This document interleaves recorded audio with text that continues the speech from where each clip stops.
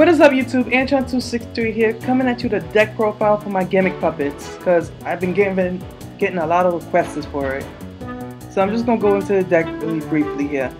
I run 3 gimmick puppet mage dolls, 2 night Twilight Jokers, I don't know why the hell name it that way, and I run 3 gear spring Spirits for, for easy exceeding, because most of, all of them are machines, so.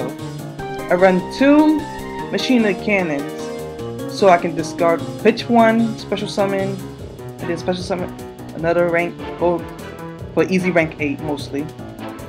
I run 3 Jury Dolls, so I can just banish a gimmick puppet, special summon it. I run 3 Eggheads, mostly just for, just, just to make it rank 8, mostly. I could care less for the burn damage, just to make it rank 8 more that I care about.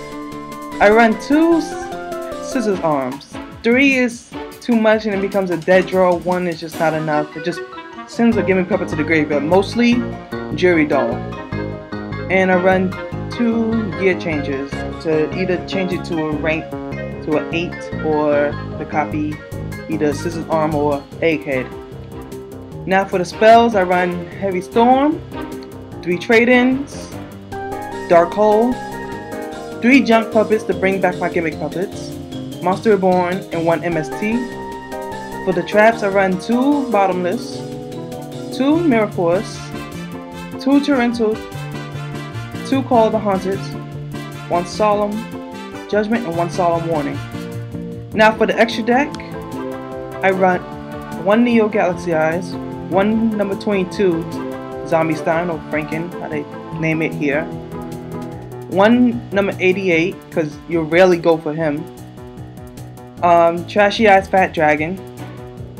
Um, Galaxy Eyes Tachyon Dragon. Uh, Heretic Seal, uh, Heliopolis. I run two Gimmick Puppet Heaven Strings. One Giant Killer. I run a Gem-Knight Pearl. One Utopia.